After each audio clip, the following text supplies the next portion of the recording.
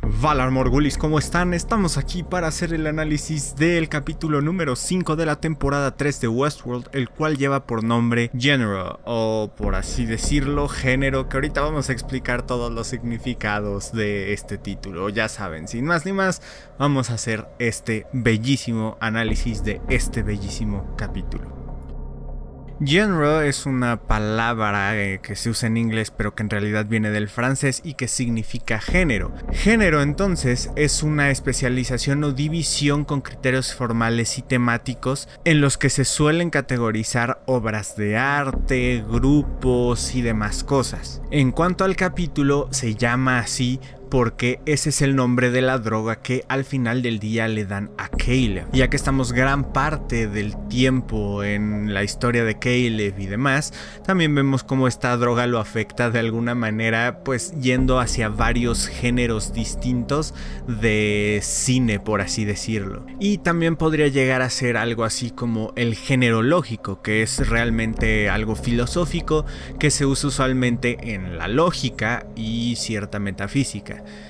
Se supone que este concepto pues reúne como multiplicidades, este, ya sea de individuos o de animales y todo eso. Por ejemplo, hay géneros en la taxonomía, hay géneros musicales, hay géneros de literatura. Tomen esto como quieran, yo creo que en mi opinión esto puede llegar a hablar más de simplemente la droga y lo que pasa a Caleb, sino también por ejemplo en la organización, por así decirlo, que es lo que hace Rehoboam los géneros para separar estas personas, que las que sí se pueden casar, las personas como Caleb y cosas del estilo. Los géneros que son estas, estas personas indeseables para eh, Rehoboam o para Serac y su hermano y los que sí se pueden adaptar bien al sistema. Creo que todas estas cosas pueden adaptarse bastante bien al episodio y a sus temáticas, sin embargo también puede ser que simplemente esté estirando un poco la verdad y esté tratando de poner significado donde no hay, así que tómenlo como ustedes vean mejor. Muy bien, más allá de esto vamos rápidamente a la historia de Serac. Como dije antes, era obvio que en este momento nos iban a dar una historia más profunda de Serac. Ya sabíamos bastante de sus motivaciones, por ejemplo cuando habló con Maeve y todo esto, sin embargo esta vez nos dieron no solo una motivación para crear Rehoboam y para mantener ese status quo, sino que nos dieron una construcción compleja de personajes donde nos dijeron un poco de su familia, de qué lo impulsó a hacer esto, de por qué está haciendo esto, la historia de cómo lo hizo. Y además, por supuesto, nos están diciendo qué es lo que lo va a impulsar ahora a volver a construir algo similar.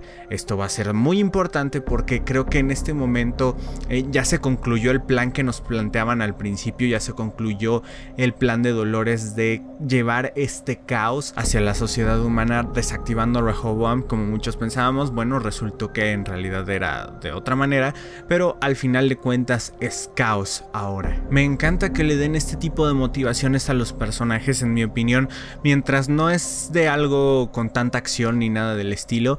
Es algo como similar a lo que pasa con Thanos. Y es que cuando tú ves a alguien como Thanos dices es que su mundo se acabó precisamente porque se acabaron los recursos y por eso está tratando de hacer esto. Es de alguna manera un sociópata con buenas intenciones por así decirlo. Pero también hay muchos tonos de grises atrás de todo esto. No solo son las buenas intenciones de Serac de querer que la humanidad eh, pues como especie, no solo son las intenciones de que no quiere que haya guerras, de que se juró a sí mismo, de que no quería volver a ver pasar lo que le pasó a su amada París, que por cierto eh, he visto que algunos preguntan, pero es que entonces ¿qué pasó en París? Eh, una explosión nuclear, pero ¿de quién? ¿Por qué? ¿Cómo? Creo que para este punto es irrelevante, no importa dentro de la historia de Westworld saber exactamente qué fue, si fue un ataque terrorista, si fue una guerra, si fue lo que sea, al final de cuentas esto fue gracias a la humanidad, a que se estaba descarrilando la humanidad. Y este fue por de alguna manera el epítome de este descarrilamiento y lo que llevó a Serac y a su hermano a construir Rehoboam. Claro que también empieza a hablar sobre construir un dios. Al parecer deliberadamente tenían como esta visión de construir un dios, no simplemente la visión sobre eh, construir algo que solo diera orden. Están dentro de este viaje, por así decirlo, mesiánico. Lo cual nos da muchísimas preguntas y precisamente nos pone estas sombras de grises. Y es que al final del día, esta es una herramienta que es increíblemente poderosa, tan poderosa tal vez como un dios. Mientras Dempsey lo estaba utilizando simplemente para hacerse más rico, los dos Serac tenían muchos planes mucho más grandiosos para este tipo de cosas. Necesitaban el financiamiento de Dempsey, pero nada más. Sin embargo, poniéndonos a pensar en pues el tipo de lenguaje que se está usando, la semiótica y demás, es muy importante notar que Serac le está hablando porque le dice te creamos a ti, le está hablando de alguna manera a Salomon, que fue la primera computadora antes de Rehoboam, le está hablando a esta computadora, le está diciendo que quería crear un dios, pero le está hablando de una manera paternal. Y si Rehoboam es un dios, entonces Serac, ¿qué es? Serac solamente es un arcángel, un ángel. No, no creo que sea nada del estilo. Creo que realmente él también tiene delusiones mesiánicas. De alguna manera, si Dios está bajo tu control, si Dios está bajo la manera en que tú vas a querer construir el mundo, lo que para ti es lo mejor y demás, entonces, ¿quién realmente tiene el poder? Tanto poder. Además de eso, hay un simbolismo aquí espeluznantemente genial. Vimos que este Serac tiene un reloj que tiene precisamente este eclipse, por así llamarlo, porque de eso está simbolizando de alguna manera esto. Eh, en la muñeca esto significa que pues es lo que él de alguna manera está midiendo, las predicciones de Rehoboam. En lugar de estar midiendo el tiempo, él mismo dice que él solo trabaja en el futuro. Entonces es bastante interesante ver que en vez de en alguna tableta o algo, tenga un reloj de todas las cosas con lo que está prediciendo Rehoboam no está dando la hora ni nada del estilo, no está midiendo el tiempo, está de alguna manera modificando el tiempo. Volviendo un poco hacia el pasado de Serac, bueno, tenemos que eh, empezaron a hacer estas predicciones, empezaron a jugar a ser dioses con la sociedad y demás. Sin embargo, siempre hubo personas que eran anomalías, que se salían de lo normal y que de alguna manera no cabían en este nuevo mundo que estaban tratando de crear. Y aquí es cuando entra lo verdaderamente aterrador. No simplemente le están quitando de alguna manera la libertad a las personas que sí están dentro de este sistema, sino que están prácticamente de alguna manera incurriendo a la eugenesia, que es lo que hacían los nazis para tener la búsqueda de la raza perfecta. En este caso no es la raza perfecta, sino que están tratando de buscar la sociedad perfecta.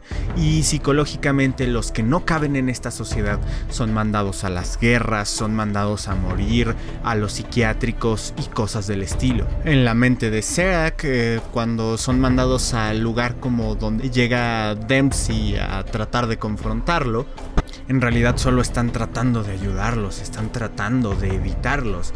Y esto es sumamente siniestro porque incluso se lo está haciendo a su propio hermano. Y se lo está haciendo de una manera que no parece tenerle remordimiento a sus acciones ni nada del estilo, ni tenerle lástima a una persona que se supone que quiere de la manera en que debe querer a su hermano. Posteriormente, él mismo mata a Dempsey y pues así termina la historia de ese hombre y empieza la de su hijo como su heredero, por así decirlo, pero en realidad estuvo bajo el control de Serac. En la actualidad, claro, vemos también que Serac precisamente usa esto de una manera bastante tétrica, porque lo vemos prácticamente haciendo que el presidente de Brasil se arrodille ante él, y es prácticamente una probadita de cómo suceden las cosas en ese nuevo mundo.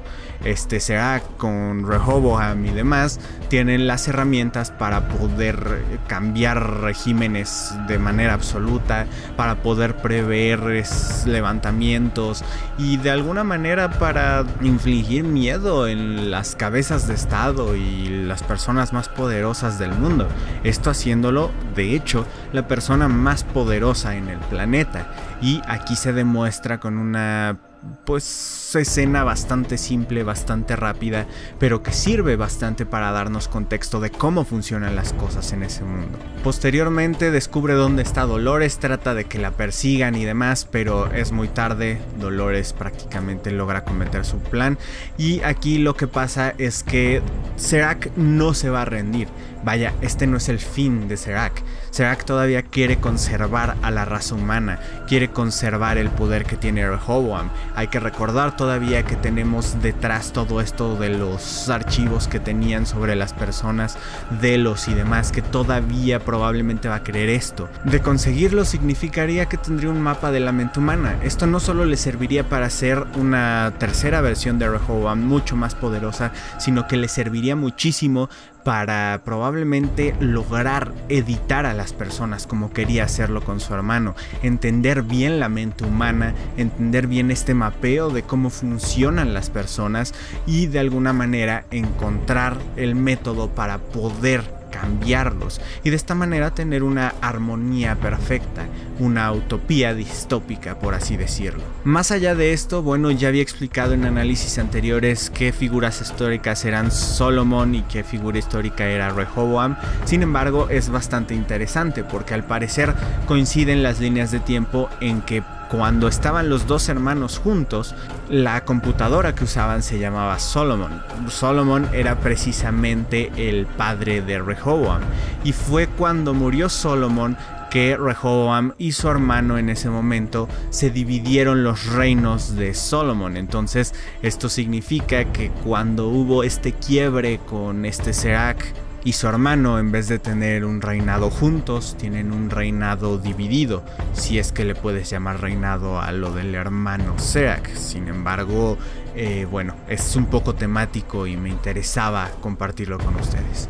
Luego vamos rápidamente con Dolores que digo, no es como que sea la menos importante, al contrario, sin embargo quiero tomarme un poco más de tiempo con este Caleb porque hay algunas cosas interesantes ahí. Así que con Dolores prácticamente lo que tuvimos en este episodio es que logró su cometido, lo que habíamos visto que quería hacer desde el principio de la temporada, usar a Rehoboam de una u otra manera para lograr el caos. Ahora, es bien importante tener claras las intenciones de esta Dolores tener claro que ella sabe qué es lo que está haciendo o al menos lo que hizo en retrospectiva. Los recuerdos que vemos de Serac son recuerdos que ella estuvo viendo gracias a su acceso a Rehoboam, los recuerdos que tenía Rehoboam almacenados de Serac. En estos recuerdos en algún momento este Serac le dice a Dempsey que en todas y cada una de las simulaciones donde eh, le revelaban las cosas a las personas, esto inevitablemente llevaba a la extinción de la raza humana. Cuando Dolores se entera de esto no es como que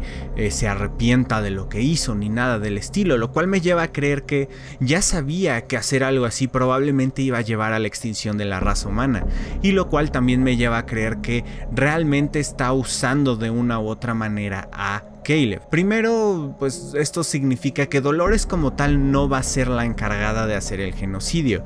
De alguna manera, eh, tiene ciertas razones para creer esto. A pesar de que sería la extinción de la raza humana, sería por situaciones naturales, sería por situaciones más eh, dependiente de ellos y no necesariamente de externalidades o de algo que hizo ella ni nada del estilo. Vaya, ella no está levantando la mano contra la humanidad en sí. Y esto es una distinción importantísima a la hora de lo que va a pasar. Sin embargo, esto sí significa que no le importa que la raza humana se acabe, como a Caleb sí le importaría, por ejemplo, le importa mucho que este, mucha gente inocente pueda llegar a sufrir. Y precisamente ahí está el dicho que el diablo está en los detalles, y es ese pequeño detalle lo que en primera hace que Dolores no sea una tirana, pero que también Caleb muy probablemente se siente usado y eventualmente pueda llegar a tomar armas contra ella. Es un personaje fascinante, esta Dolores es un personaje que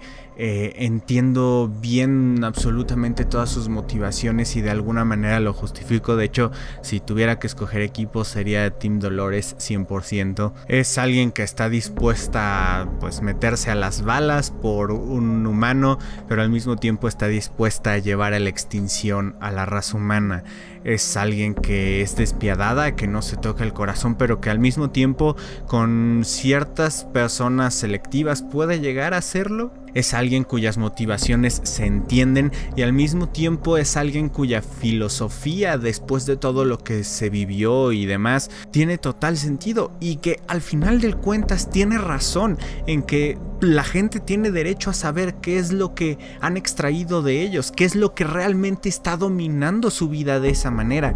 Y creo que es una eh, temática importantísima en especial para estas épocas donde todo esto de la privacidad y de este que hay cosas muy externas a nosotros decidiendo nuestros futuros y demás tiene pues consecuencias y al mismo tiempo si estas consecuencias valen o no la pena y todo esto es una conversación importantísima y que al final del día creo que están explorando de una manera como solo las mejores obras de ciencia ficción de la historia pueden realmente llegar a hacerlo y estoy muy conforme con este episodio.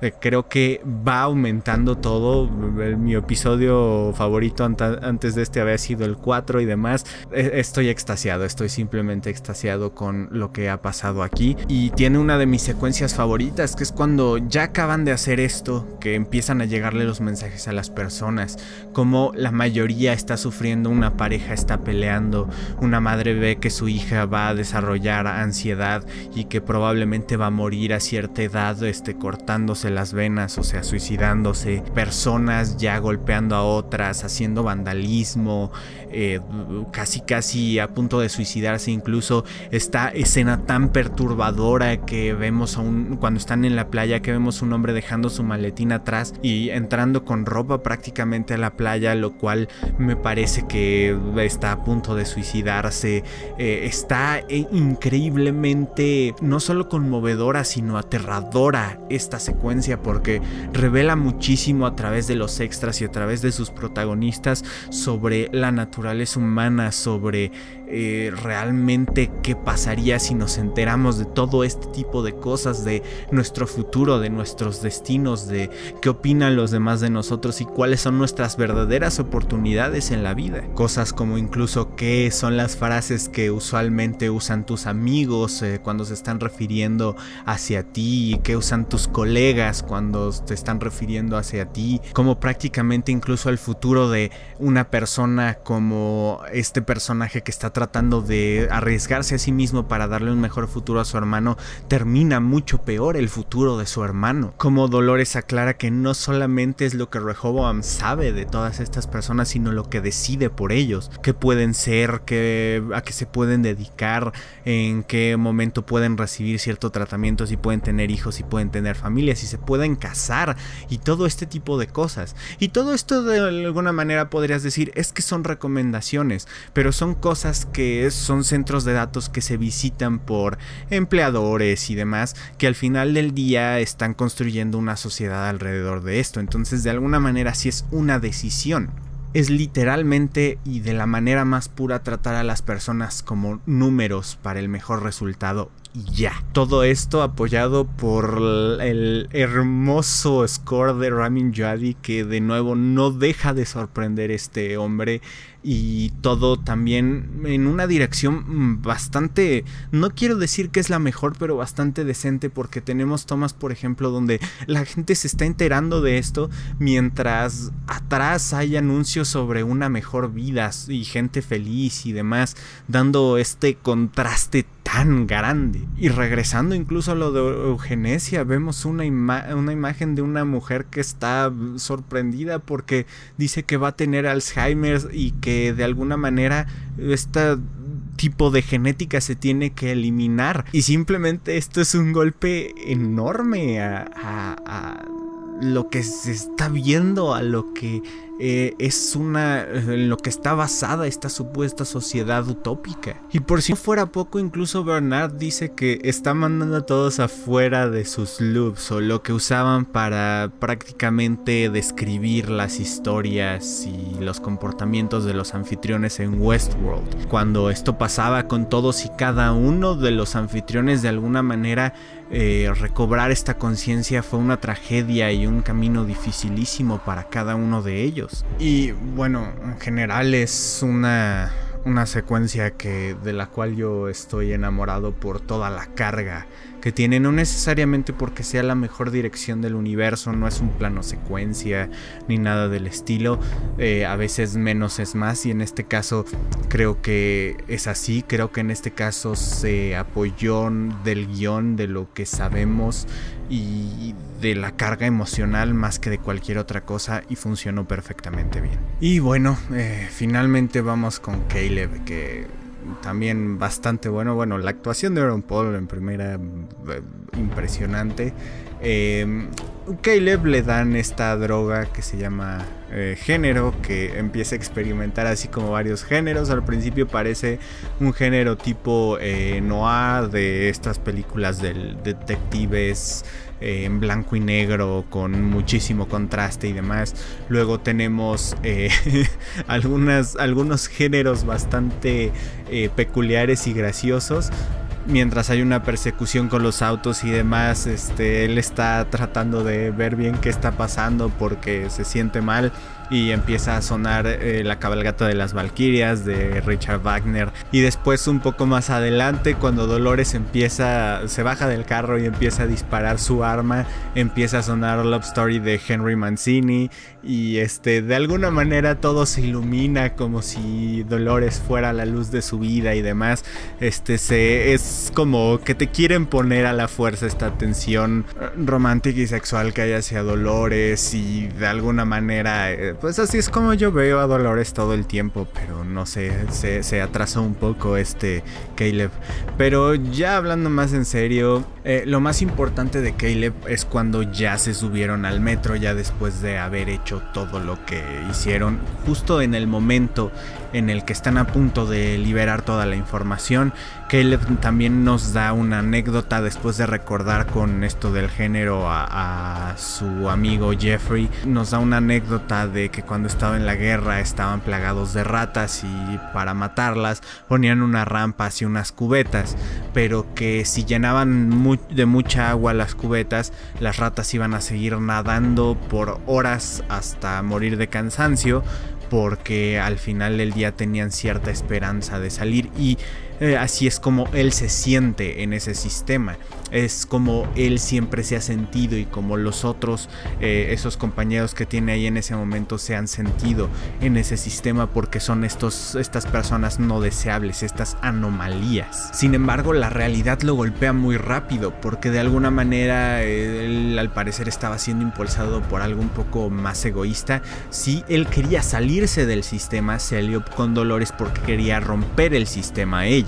Sin embargo, se dio cuenta que salirse del sistema afecta a muchos otros y al mismo tiempo, eh, pues mientras él tal vez se puede sentir libre de este, de este yugo de Rehoboam, mucha gente dependía de eso para de alguna manera eh, ser felices o algo del estilo. Y no digo que necesariamente Caleb le haya querido esconder, por ejemplo, a la madre que su hija se iba a suicidar si seguían en ese paso ni nada y que este, él quisiera mantener ese status quo después, sino que tal vez y de alguna manera eh, no lo debió haber hecho así porque esto va a causar caos, un caos global inimaginable. Tal vez debieron haber usado el sistema para cambiar las reglas un poco. Se topa con una de estas realidades que a mí me encantan en la ciencia ficción, que es, es que realmente no estaban tan equivocados los que hicieron esta máquina, simplemente lo están usando de una manera eh,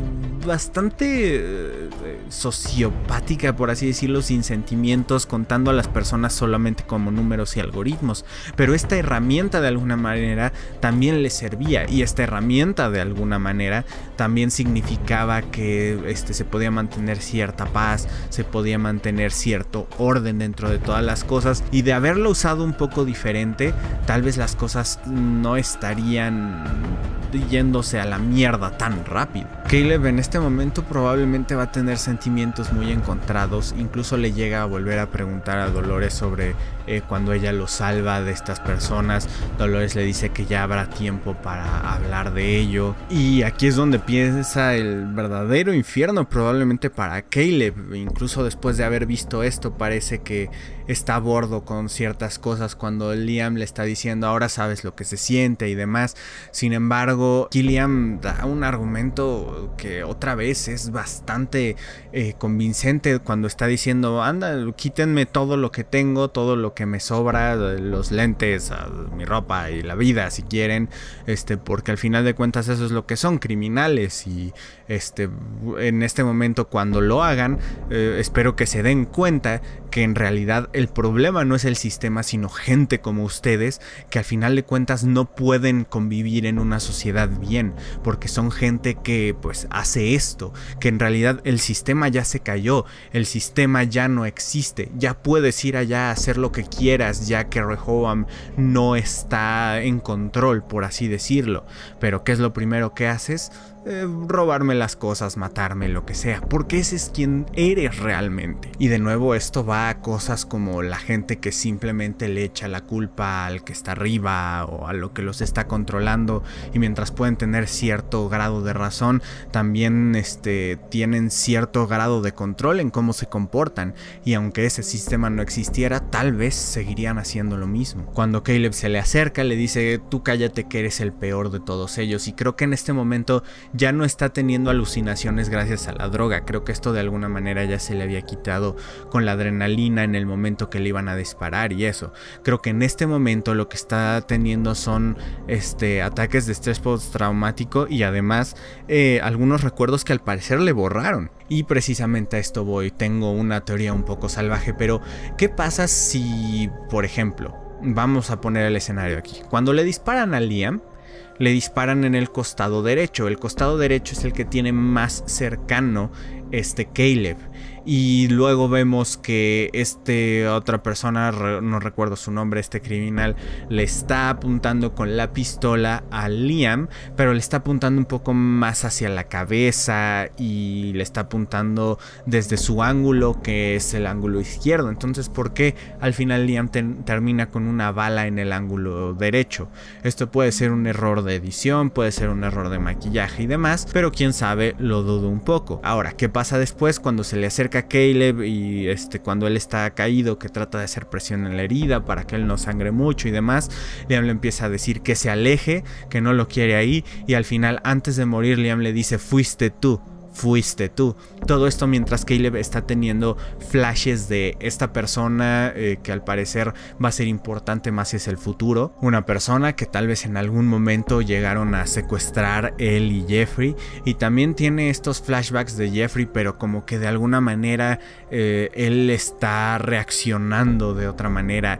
Eh, ya le habían dicho desde el principio del capítulo que este, al parecer él tenía él había visto en esos lentes algo que realmente asustó a Liam. Entonces creo que este Caleb tiene un pasado muy oscuro que incluso él olvidó. Vemos también algunos flashes de que él al parecer estuvo en un psiquiátrico por un tiempo. Vemos lo que parece ser una doctora.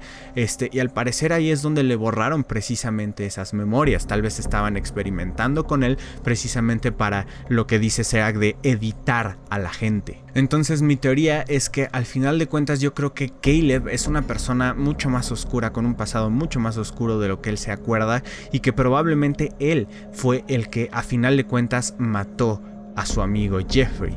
Y por eso esto que le está diciendo Liam de fuiste tú, fuiste tú, eh, le está cayendo pesado. Ya sea porque fue el mismo Caleb y en ese momento disasoció, por así decirlo, fue como un narrador no confiable, que fue el mismo Caleb el que le disparó y no fue en realidad el otro, que sí tenía el, el arma arriba, pero tal vez simplemente lo estaba amenazando. Y que también pudo haber sido el mismo Caleb el que terminó matando a su amigo, al amigo que tanto quería o amante o quien sea, que al final del día es lo que más le ha afectado a su vida y eh, de alguna manera es como esta piedra angular, lo cual tiene un paralelismo bastante interesante con cómo recordaban eh, los anfitriones sus vidas pasadas, cómo tenían todo esto escondido detrás de ellos y de alguna manera eh, fueron recordando estos eventos traumáticos, ya sean sueños y cosas del estilo. Y pues finalmente simplemente recibe un paquete que parece que es bastante interesante porque al principio le estaba haciendo ese tipo de entregas y decía que él solo entregaba, ni siquiera veía qué es lo que tenía que entregar ni nada, eran como esas actividades criminales menores. No sabemos qué haya dentro de esa bolsa y luego como que aquí ya tiene un poco de sospecha y cuestionamientos hacia lo que está haciendo Dolores. Sin embargo, más adelante solo vamos a poder verlo en los próximos capítulos, a ver qué es lo que va a pasar con Caleb. En algún momento vamos a tener que tener ahora los flashbacks de Caleb por alguna razón, qué es lo que pasó en su vida pasada, ya sea en esta temporada o en una más adelante. Y finalmente nada más quería mencionar un poco a Bernard, que dentro de todo esto la verdad es que Bernard ha sido más un pasajero que un personaje que, vaya, lo único que él tomó como acción fue lo de llegar en el momento del baile para pues tratar de salvar a Liam, que no le salió y después simplemente todo lo demás ha sido prácticamente un pasajero.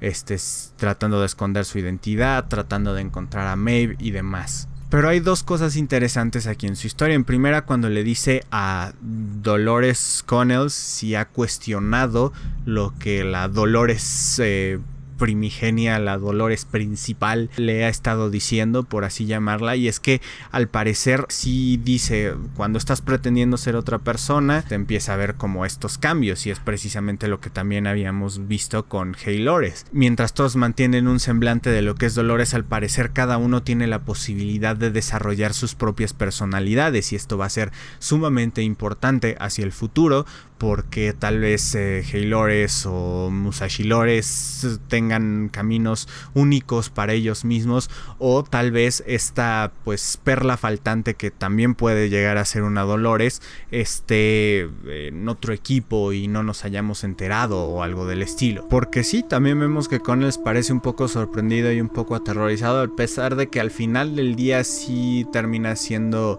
eh, pues fiel a su propósito, por así llamarlo. También vimos duda en él y de alguna manera esto va a ser significativo hacia el futuro.